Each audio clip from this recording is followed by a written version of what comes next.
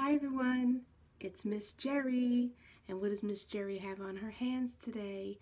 I have on mittens because mittens is the topic of our curbside craft and our story this week.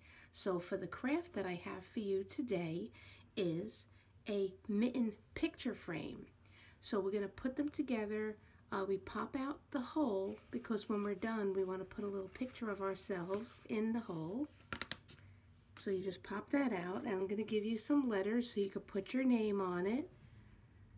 And I also have some other fun stickers that's going to go with it. There's hearts and stars and circles and some other fun foam crafts to put on it. We have hot chocolate, mittens, snowman, snowflakes. So if you sign up for a curbside craft, I'm going to have your bag ready for you. And in addition to your craft, everyone is going to get their own pair of mittens. So I have assorted colors of the picture frames. And I also have assorted colored mittens. So I would love to see you guys when you finish your project and you're wearing your mittens to pose for a picture and send it to us and I would post it on Facebook. So please have fun with your craft and stay safe. We'll see you next week and have a good day.